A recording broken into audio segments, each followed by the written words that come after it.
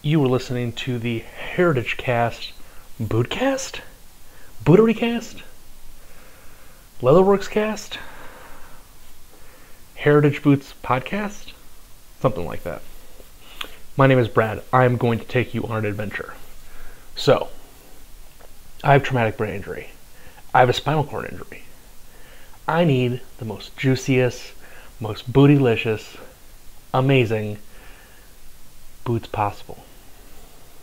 Do my little research, find Rose Anvil, find Carl M. Cool Polish last name guy um, on YouTube. Sorry, Carl, I can't pronounce your name. Uh, you, please change it. Um, please change it like the Carl cast. There we go. Um, so I go on my adventure. I get my boots. Super excited. Take them out. Looking at the boots. Looks pretty good. Start looking around. See the welt. Okay, the welt looks kind of strange. Uh, it's kind of separated a little bit. Okay, whatever. Start looking a little bit. Look at the the midsole, the piece right under the, the welt where the boot is actually attached to. Look at it. There's a scratch here. Okay, maybe it's just not a scratch. I'm looking at it more. I'm like, hey, what's going on here? Bend a little bit. The whole thing is cracked. Just order a second one. Didn't think anything of it. Order a second version. Get them in. Literally the same thing. So then I start doing all this research, investigation, looking around. Okay, what's what is this thing? What's a midsole? What is it made out of? Watch Rose Anvil's uh, video four or five times to kind of grasp what he's talking about. Figure, oh, this is a synthetic, not only a synthetic welt, but a synthetic midsole. Now, there's probably other ways to make this where you can make them synthetically and they will actually last. I don't know. I'm not a boot guy. I'm just a guy who wants good boots. Looking at it, totally jacked up. Not what I want. Order the third pair. the third pair is cracked. Order my fourth pair. Fourth pair is cracked. So I end up going to my cobbler. I say, hey, Mr. Tom, who didn't happen to be Tom, it's his dad. What can I do? Oh yeah, totally easy. All I have to do, rip off the bottom, slap a new uh, midsole on there, leather or rubber, whichever you want. We'll slap it on there, welt it up good and good and tight. You'll be on your way. So I am waiting for my fourth pair or fifth, something like that, of Thorogood 1957s. Um, the Uplander version, obviously the mock toe would would be okay. I just I didn't necessarily want the mock toe um, starting out. I wanted something with a with a heel to start out to try to get my my feet wet uh, in the in the boot world. Although I'm not sponsored by this, uh, I'm drinking the All American Terre Haute Brewing Company Porter Street Pre Prohibitions Porter. This is fantastic. It says the pre Prohibition Porter was a style originally brewed in Philadelphia during the Revolutionary period, famously endorsed by George Washington. I don't want to be endorsed by George Washington because way. Um, it was brewed using corn, six row barley, and the dark color came from molasses. Step back in time and enjoy a modern take on vintage. Holy shit, on vintage style. There we go. That's this whole thing's about. Vintage style, but the point of this is function.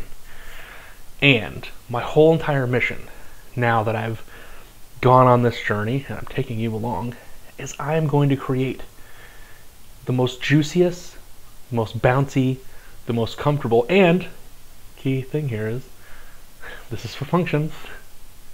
No break in.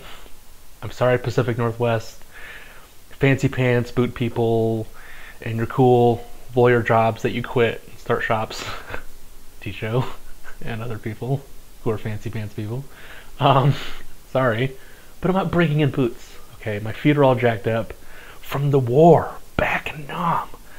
Okay, not actually Vietnam. I was in two wars, Iraq and Afghanistan. But in any case, back in Nam, uh, so I'm not breaking in any boots. It's not happening. I'm sorry, but the whole goal of this is to take it off the shelf, Red Wing, Thorogood, Danner, take the boot, rip the bottom off, put a new bottom on, and upgrade it with a fucking counter. How this doesn't happen, I don't know. I'm not sure why Wickett and whatnot, or Horween, or name your leather company doesn't have, hey, we're taking the scrap leather. This is the crap leather that no one wants. This is the bug bite leather. We're taking the bug bite leather and giving it to all the boot companies. So everybody has bug bite leather to put in the back of your boots and call it bug bite leather company or something. I don't know. And you put it in the back and it's a counter for every boot that gets on someone's feet. What the hell? When I found out about this, and I'm looking at all these different things, like, oh, you know, uh, Roseanne was talking about this. Oh, you know, the uh, the fact that these Thorogoods, these other things with with liners don't have a counter. What? Why not? Doesn't make any sense. Put it in the back of there. This cannot possibly cost money. I mean, you're already making it. You already have to have a stitch. You add some stupid glue, boom, the counter goes back, then you're done. I mean, I just don't understand. It's just like, it, it, it most likely is free. I, I can't imagine it could possibly cost money to have scrap leather because it doesn't even need to be like a specific shape. You could just say, okay, we're the scrap leather bug company. we're putting scrap leather on the back of everybody's boots. Done. like, make it a nonprofit. I don't know, do something. Like, I can't be the only person who has thought of this. Okay, maybe I am. Maybe I'm that crazy. I don't know. This porter is legit. I'm telling you what. Part of this, so I found out that my cobbler, his dad is 93 years old.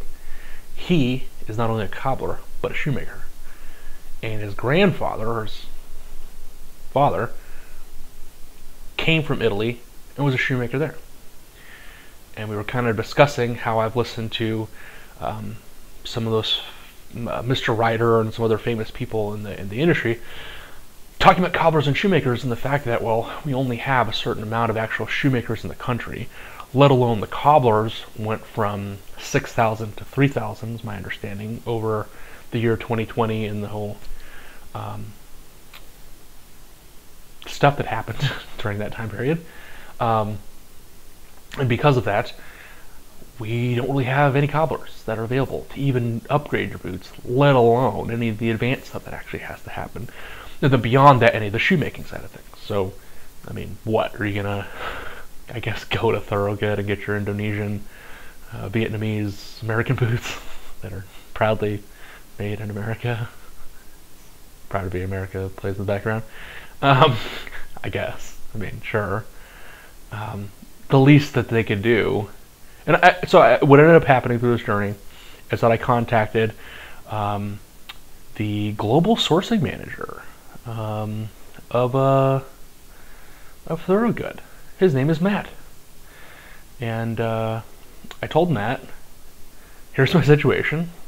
One, Thorogood's paying for my resole because well, after four of them, just in spite of Thoroughgood." one, I just expect you to back up your name. And then two, I expect you to back up the name of the shoemakers. And then three, I directly told them this. I expect you to revamp your stuff. Le- veg tan leather midsoles can't possibly cost that much money for Thorogood. That's just not how that works. You're gonna buy this at scale, so it's, it's gonna equal out eventually. There's and even if it did cost 75 extra bucks, people will pay the extra 75 extra bucks to have a good midsole. That's just what will happen. Okay, if you need to have your your garbage line, well, you have your garbage line, or your your less good line, and you can have your bespoke line, and have your bespoke American Heritage, whatever thing, and partner with someone, and the veg tan leather. I mean, what you're selling? I don't know, max 100,000. Okay, get 100,000 pieces of veg tan leather. Just do it. Like, I, I can't be the only person who's ever said this. I, I cannot possibly imagine this is like just me coming up with ideas. There's just no way. And for a 289 or so boot, okay, make it 305. I don't know. Do something. Like, but me having to come up with ideas is just bad idea. Shouldn't be me. Should be someone else. So, this has been the Heritage Cast Bootcast, Bootcastery Podcast. something like that. Leatherworks podcast, something. It's gonna it's gonna change, and I may change the name whenever I feel like it because that's what I do. And uh, I think my next beer is we are the we're all a little nuts out here, which is from the Monocle Brewery. Chocolate peanut butter stout. Sounds like a lot of fun. I've never actually had this before. Sounds pretty good. Thank you for tuning in to the Heritage Cast, Bootcast, Bootcastery podcast of Journey, Journey podcast of Heritage, Vintage Heritage podcast, the Bootery. Bootery podcast of Heritage? Something like that. You guys have a fantastic